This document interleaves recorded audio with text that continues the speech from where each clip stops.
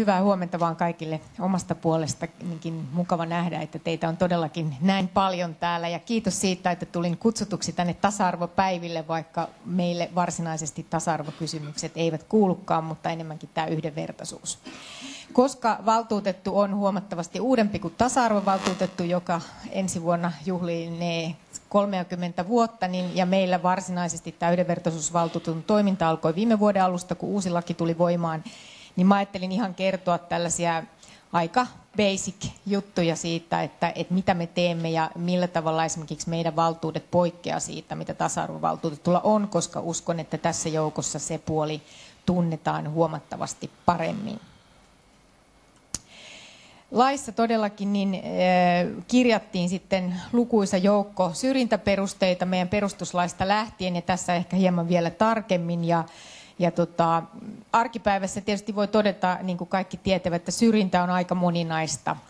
Ja laki on tullut selkeästi tarpeeseen joka kuukausi, nyt kun me ollaan tässä nyt tätä lakia sovellettu, niin lähes 20, tai yli 20 kuukautta, niin joka kuukausi yhteydenottomäärät kasvavat edelleenkin.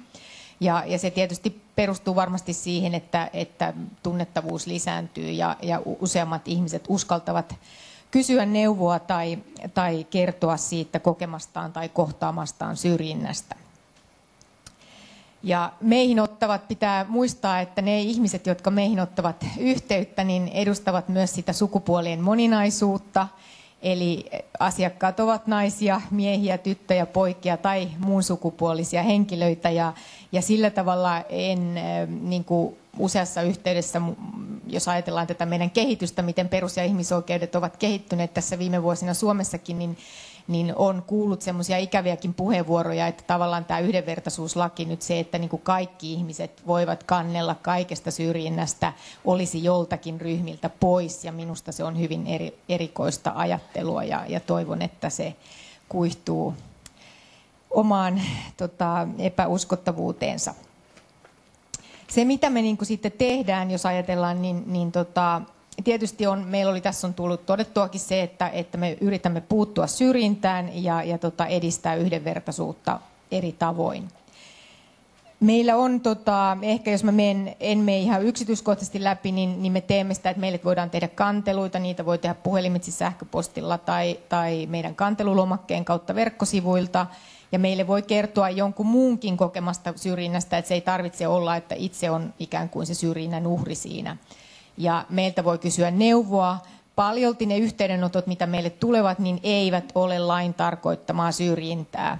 Se ei ole huono asia, että ihmiset ovat yhteydessä, koska sillä tavalla tietysti myöskin se tietoisuus siitä, mitä se syrjintä itse asiassa on, lisääntyy. Ja, ja toisaalta niin me sitten voimme ehkä opastaa näitä ihmisiä toisten viranomaisten puoleen, jos kyse ei ole sellaisesta asiasta, jossa me voimme olla avuksi. Me selvittelemme ihmisten tapauksia, meillä on mahdollisuus edistää sovintoa, ja, ja tämä ominaisuus tai tehtävä muoto nyt on sitten vireillä tuolla eduskunnassa, että tulisi myös tasa-arvovaltuutetulle. Näitä sovinnon edistämistapauksia meillä nyt oli viime vuonna muutama kappale ja tänä vuonnakin on ollut pari kappaletta, että tota, mutta monissa tilanteissa niin, niin ne ei sitten kuitenkaan sovi siihen tilanteeseen ja sehän lähtee aina tietysti siitä syrjinnän uhrista liikkeelle, että onko hänellä halua ikään kuin sopia asiasta tämän vastapuolen kautta, mutta tietysti niin kuin yksilön näkökulmasta se on usein se nopein keino ratkaista tilanne ja toisaalta niin riippuen tietysti missä tilanteessa ollaan, niin jos on sellainen tilanne, että henkilöt ikään kuin jatkavat sitä yhteistyötä siitä etenkin päin, niin, niin silloin usein se tilanne on helpompi ratkaista tämmöisen sovinnon kautta kuin muuten lähteä siitä riitelemään. Sitten se, mitä mä itse eh, haluaisin vielä nostaa esille, niin meillä on myöskin tämän syrjinnän lisäksi, kun me puhutaan siitä välillisestä syrjinnästä, välittömästä syrjinnästä, niin meillä on myöskin tämmöinen häirintäpykälä siellä. Ja tämä häirintä nimenomaan tarkoittaa tällaista, että jokin, jotkin ilmaisut tai muut teot luovat sellaisen uhkaavan, halventavan ilmapiirin. Ja tässä on paljon niitä samoja piirteitä, kun meillä on rikoslaissa tämä kiihottamisrikos. Eli tämä häirintä on siitä niin kuin ikään kuin lievempi muoto ja, ja tota, tavallaan se kattaa muun muassa tällaisen vihapuheen. Ja, ja tämä on sellainen, mitä me nyt ollaan yritetty nostaa esille ja, ja tota, tulemme omassa toiminnassamme kiinnittämään enemmän huomiota myös siihen, että, että ensi vuoden aikana, tämän vuoden aikana, niin me puututaan myöskin tällaisiin meille tulleisiin ilmoituksiin tai oma-aloitteisesti enemmän tämän häirintäpykälän pykälän osalta. Ja me ollaan tästä käyty keskustelua sitten tästä rajapinnasta niin poliisin ja syyttäjienkin kanssa, että, että jotta me esimerkiksi tämä vihapuhe saataisiin paremmin parempin tota, ha, hanskaan, niin, niin tässä on myös yksi mahdollisuus siihen puuttua. Tässä tulee mainituksena meidän kaksi erityistehtävää, ihmiskaupparaportointi ja maasta poistamisen täytäntöönpanon valvonta, joka on vähän uudempi tullut ulkomaalaislaista, mutta tästä ihmiskaupparaportoinnista mä haluaisin sanoa tälle yleisölle, että, että tässähän edelleenkin Suomessa pääosa ihmiskaupan uhreista on naisia, oli kyse sitten suomalaisista tai, tai muun maan kansalaisista, niin, niin tässä todellakin nämä uhrit on selkeästi naisia. Ja tota, jos ajatellaan, tässä tuli mainituksi aluksi tämä eilinen tyttöjen päivä, niin, niin eilähän tuli nämä listaukset siitä, että mitkä ovat turvallisia maita tyttöjen kannalta, ja Suomi oli siellä kakkosena, ja listan viimeisenä tota, oli Nigeria, ja me omalta osaltamme teimme juuri nigerialaisista ihmiskauppauhreista tämmöisen selvityksen, joka julkaistiin muutama viikko sitten löytyy meidän verkkosivuilta, jossa, jos jotakin kiinnostaa. Ja, ja siellä tietysti meidän toive olisi se, että näitä ihmiskaupan uhreja ei käännytettäisi Nigeriaan tai edes muihin EU-maihin, jos ei voida olla varmoja, että, että he pääsevät sitten siellä toisessa maassa tämän auttamisjärjestelmän pariin. Sitten moniperusteista syrjinnästä moniperusteinen, kuten Anja tuossa selitti, niin, niin tota laissa niin tämmöinen moniperusteinen syrjintä, jossa tavallaan kaksi, kaksi ominaisuutta, kaksi syrjintäperustetta yhdistäen muodostavat sen syrjinnän, eli voi jo tyyliin olla venäläinen nainen tai vammainen nainen, ja jos ei jompikumpi näistä täyttyisi, niin hän ei olisi syrjitty. Eli syrjinnässä pitää aina lähteä siitä, kun me selvitetään, että meillä on joku verrokkiryhmä, johon verrataan sitä henkilöä. Ja tässä tällaisessa moniperusteisessa syrjinnässä, niin se vertaus ei toimi ikään kuin jollei nämä molemmat tai useampi elementti yhdisty. Näitä tapauksia, niin mä juuri tuossa sain äh, tota, sähköpostilla, niin niin tämän vuoden luvut niin tuonne syyskuuhun asti niin oli ollut 11 kappaletta sellaista, jossa meillä oli ollut määritelty, että on jokin syrjintäperuste ja sitten toisena syynä on sukupuoli, joka liittyy siihen. Nämä tapaukset, no tässä kuvasta nyt kaikki voi päätellä, niin meille on myös tullut näitä kotimaisia burkiinitapauksia. Me emme puhu hiekkarannoista, mutta me puhumme uimahalleista, jossa osa kaupungeista on kieltänyt burkiinien käytön uimahallissa ja, ja tämä on meidän käsittelyssä. Useim, useimmat näistä, tai ei useammat, mutta muutamat näistä tapauksista niin koskee nimenomaisesti musliminaisia tai muslimityttöjä. Meillä on myös tapaus, joka koskee huivin käyttöä päiväkodissa. Sitten meillä on ollut tota, tämmöinen ei-muslimi nainen uskonnon opettaja, joka on opettanut islamin uskontoa. Ja tässä tapauksessa sitten, kun vanhemmat toivoivat opettajan vaihtamista, niin, niin siihen sitten koulukin lähti mukaan. Ja, ja tota, meillä kuitenkin laissa todetaan, että uskonnon opetus on vakauksetonta ja, ja silloin sitä voi kuka tahansa pätevä uskonnon opettaja hoitaa. Sitten meillä on tota, nyt ollut hiljattain tullut myös tapaus, joka koskee vammaista henkilöä, joka on transsukupuolinen. Eli tässä nyt on muutama esimerkki, mutta kaiken kaikkiaan niin mä tuossa katselin, että näistä 11 tapauksesta, niin se, että mikä on ollut se toinen, toinen syrjintäperuste, niin tämä on hyvin jakautunut, tai että täällä on ollut kieli, ikä, alkuperä, seksuaalinen suuntautuminen, uskonto tai muu syy sitten. Niin, niin, eli se on hyvin, hyvin vaihtelevaa ja, ja tota, osapuolina niin useammassa tapauksessa niin kyse on valtion toiminnasta. Mä otin tähän loppuun muutaman tota, tämmöisen graafin, jossa näkyy vähän sitä, että miten, miten paljon meille milläkin perusteella syrjintäilmoituksia tulee. Ja tota, tästä ehkä nyt, kuten huomaatte, niin tuolta ikävällä tavalla nousee esille. Tämä alkuperä mun mielestä osittain selittyy meillä sillä, että, että sen, siltä osin ihmiset tuntevat meidät ja silloin se on luonnollista, että meille tulee näitä ilmoituksia paljon. Mutta sitten täältä nousee toisena esille vammaisuus. Ja tämä, sinänsä tämä trendi, jos nyt voi näin tässä käyttää sitä, niin tämä on hyvin samansuuntaista kuin myös muissa Pohjoismaissa. Eli siellä Ruotsissa, Norjassa esimerkiksi niin on aivan sama, että alkuperä tai vammaisuus ovat ne suurimmat ryhmät, joista näitä ilmoituksia valtuutetuille tulee.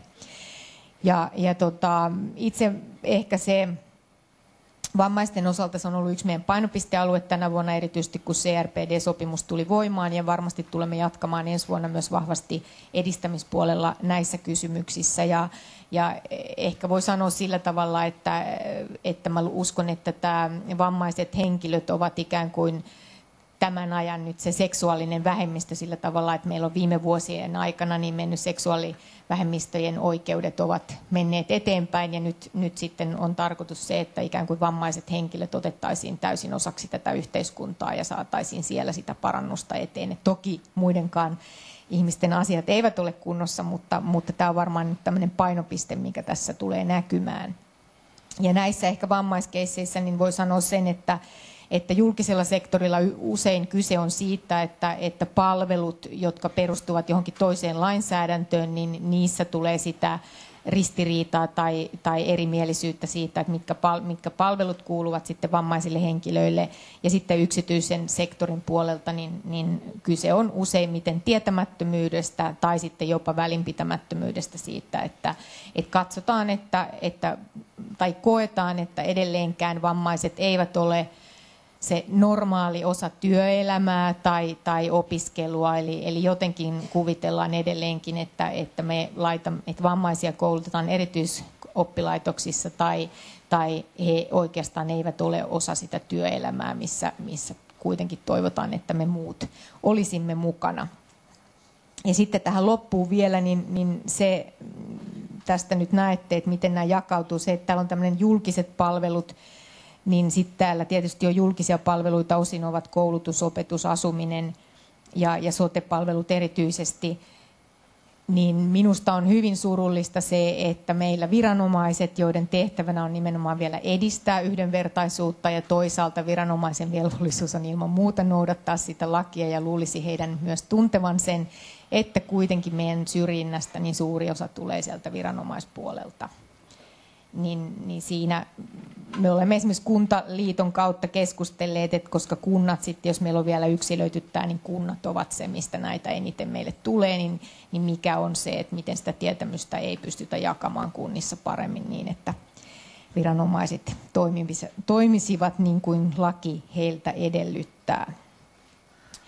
Mutta tota, ehkä vielä tässä ennen kuin lopetan tämän ja, ja jätän tilaa kysymyksille, niin voin todeta, että, että Anja ei tuossa vielä kertonut, mutta olemme tasa-arvovaltuutetun kanssa yhdessä nyt vedonneet vielä ministereihin, hallituksen, hallitusryhmien vetäjiin ja eduskuntaryhmien puheenjohtajiin siitä, että translaki voitaisiin viedä eteenpäin ja, ja toisaalta sitten, että kun valtioneuvosto on valmistelemassa seuraavaa perus- ja ihmisoikeusohjelmaansa, niin tämä translaki ja sen kehittäminen tulisi sinne hankkeeksi. Eli tällä tavalla yhteistyössä niin pyrimme tietysti edistämään kaikkien ryhmien tasa-arvoa ja yhdenvertaisuutta, vaikka toimivalta ehkä onkin sitten vain toisella valtuutetulla.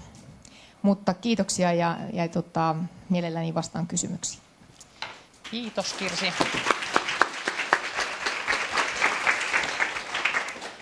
Hyvä. Sitten saapi kysyä. Sieltä näkyy ensimmäinen käsi kauheasti tulee kysymyksiä. Nyt meidän täytyy... Joo, kysykää sillä tiiviisti, niin ehditään ottaa nämä nyt, on nyt käsi pystyssä. Jep. Outi Viitamaa Tervonen sosiaali- ja terveysministeriöstä ja tasa-arvoyksiköstä, niin ää, käsitykseni mukaan syrjintä työelämässä on, on se alue, jossa syrjintä on kaikkein yleisintä. Ja sulla oli mielenkiintoisella tavalla tässä ilmoitukset ää, työelämää koskien. Ja siinä on joku lukema, niin, niin Voisitko hieman selventää tätä, koska tämä työelämävalvonta ei kuulu yhdenvertaisuusvaltuutetulle? Kiitoksia. Joo, mä vastaan pikaisesti tähän. Eli siis meillä ei ole oikeutta antaa tällaista lausuntoa tai kannanottoa yksittäisestä työelämää koskevasta asiasta. Ja, ja tota, vaan tältä osin se yhdenvertaisuuslain osalta se kuuluu aluehallintovirastolle, työsuojeluviranomaisille. Mutta tämä on vaan se, että kuinka paljon ihmiset ottaa meihin yhteyttä siitä syrjinnästä, mikä liittyy työelämään. Osin se voi olla sellaista, että me voidaan puhelimessa vain neuvoa miten he voivat toimia, kehen he voivat olla yhteydessä. Osa näistä tapauksista niin me käännetään aluehallintaviranomaisille, olemme paljon kehittäneet yhteistyötämme heidän kanssaan tänä vuonna ja, ja, ja tota, sitten joissakin asioissa niin, niin me ollaan esimerkiksi yhdessä, yhdessä tapauksessa niin yritetty edistää sovintoa, koska tavallaan meillä on niin näitä muita mahdollisuuksia sitten näitä asioita yrittää viedä eteenpäin ja voidaan saada sieltä ideaa myöskin siihen edistämistyöhön. Hyvä. Ja siellä reunassa näkyy ainakin toinenkin käsi, joo. Ja siellä on myös, joo. Johanna Pakkanen Nytkisistä. Kysyisin, että minkälaisia nämä on nämä muut henkilöön liittyvät syyt, jos otetaan teihin yhteyttä? Näissä on paljon, ensinnäkin asuinpaikka on yksi sellainen, joka ei ole näissä muissa syissä. Eli jos asuinpaikka on, niin, niin se on listattu tähän. Sitten meillä on semmoisia hiusten väriä, lävistystä ja, ja tämän tyyppisiä. Ihan niin kuin tavallaan ulkonäköön liittyviä kysymyksiä usein. Ja ole hyvä. Juha ja Isät lasten asialla rystä. Esitän tämmöisen yksilöidyn pienen, pienehkön aiheen, mikä on kuitenkin yllättävän iso nykyään, eli, eli lasten vuoroasumiseen liittyvät ongelmat, eli, eli vanhempien huomioiminen yhtäläisesti, yhdenvertaisesti. Esimerkkinä lasten koulukyydit. Rääkkylä on ainoana kuntana toteuttanut vuoroasuville lapsille koulukyydit lapsen molemmista kodeista. Nyt esimerkiksi jos koulu olisi siellä ja täällä olisi isä, joka olisi lapsen lähihuoltaja, tuossa välissä istuisi äiti, tai olisi siis äidin koti, jossa lapsi viettäisi vuoroviikoin, hän ei saa koulukuljetusta pussilla siitä kouluun. Eikö tämä ole yhdenvertaisuusasia? Ja miten yhdenvertaisuusvaltuutettu jatkossa aikoo tämmöisiä kaltaisia asioita edistää? No tässä ehkä lähden siitä, että tietysti se on yhdenvertaisuusasia, mutta me emme tavallaan voi käsitellä esimerkiksi yhdenvertaisuutta kuntien välillä. Ja siinä tapauksessa, että jos kunta kohtelee yhtä lasta, yhtä vuoroasujaa eri tavalla kuin niitä muita vuoroasujia, niin silloin voisi heti sanoa, että kyse on syrjinnästä. Mutta jos se kohtelee kaikkia tällaisia vuoroasujia eri tavalla kuin muita lapsia, niin silloin me varmaan lähdettäisiin miettimään sitä, että, että onko siinä tämä verrokkiryhmä, niin onko se ne muut lapset. Ja toki tällaisessa tapauksessa, niin me varmasti, ja meillä on ollutkin näitä kyllä, niin me käydään neuvotteluja kunnan kanssa, jotta se pystyttäisiin hoitamaan, mutta se ei välttämättä ole sellaista syrjintää kuin mitä yhdenvertaisuuslaki tarkoittaa, valitettavasti. Hyvä esimerkki sinänsä tästä monitahoisuudesta näissä kysymyksissä, että mikä milloinkin syrjinnäksi luetaan. Ja siellä ole hyvä. Joo, tota, Satu Vepsalainen valtiovarainministeriöstä. Tässä on nyt tästä intersektionaalisuutta sivuttu paljon, esitetty erilaisia näkökulmia muun muassa siitä, että, että sukupuoli on, on niin kuin yksi syrjin, syrjintäperuste. Ja tota, mä olisin ihan kiinnostunut siitä, että mä esitän tänään kokemuspuheenvuoron tai puheenvuoron tuosta budjetin sukupuolivaikutusten arvioinnista. Ja äh, hallituksen tasa-arvo-ohjelmassa on tämä niin kuin, äh, sukupuolivaikutusten arviointivelvoite. Mutta tota, miten todennäköistä on ja minkälaisella aikataululla, jos mahdollista, niin tasa-arvo-ohjelma, siitä voisi tulla tasa-arvo- ja yhdenvertaisuusohjelma, joka velvoittaa viranomaisia yhdenvertaisuusnäkökulman valtavirtaistamiseen vaikea kysymys ja ehkä väärä henkilö vastaamaan. Eli, eli tavallaan tämä on mun mielestä poliitikkojen ratkaistavissa ja ministeriöiden se, että, että mä itse tietysti toivon, että, että lainsäädännössä huomioitaisiin myös ne yhdenvertaisuusvaikutukset ja, ja voi sanoa hyvänä esimerkkinä, mikä jatkuvasti tulee meillä esille, on vammaiset henkilöt, joita ei kuitenkaan huomioida sit monissa uudistuksissa ja, ja myöskään budjeteissa. Mutta tota, en osaa sanoa sitä siihen sen tarkemmin. Ja ihan viimeinen kysymys sieltä. Joo, Sinikka Mustakallio VOM Oystä. Teidän puheenvuorossa tuli esiin käsitteet moniperusteinen syrjintä ja risteävä syrjintä. Ja moniperusteinen syrjintä on tämä perinteisempi käsite ja varmaan meille ymmärrettävämpi. Eli kun syrjintä tapahtuu useammalla syrjintäperusteella samanaikaisesti. Mutta sitten Anja Nummijärvi sanoi, että risteävää syrjintää on se, kun nämä perusteet vain yhdessä johtavat syrjintään. Siis mulle ei nyt oikein selvinnyt tämä moniperusteisen syrjinnän ja risteävän syrjinnän ero ihan käsitteellisesti. Ja sitten se, että, että miten oikeudellisesti tätä risteävää syrjintää niin kuin käsitellään nyt meidän lainsäädännössä. Haluaisiko Anja vastata tähän kysymykseen? Jos Anja haluaa vastata, niin mikrofoni tulee sieltä. Tota, ää, Joo, eli tota, pahoillani olen. Mä vähän aika oli tiukoilla, niin tiedän, että en, en, en kovin selkeä ollut siinä. Mä nyt e, esimerkiksi sanotaan, että risteävää syrjintää on tämä Burkiini tapaus, mitä, mitä Kirsi kertoi, että he käsittelee. Eli siinä, siinä se syrjintä, siihen liittyy ehkä uskonnollisista syistä käytettävä vaate, jota vain nainen käyttää. Miehet ei käytä burkiinia ja sitten taas jos nyt sanotaan, että sitä käytetään, onhan niitä puhuttu sitä, että on erinäköisiä sukellusasuja, jotka muistuttaa burkiinia, mutta jos tässä tapauksessa sanotaan, että siihen liittyy, liittyy tota, nämä kaksi tekijää, että se vaan on se, se ikään kuin syrjintä, syrjinnän konstruoiminen edellyttää, että siinä on ne molemmat yhdessä, että ne ei ole erikseen tarkasteltavia.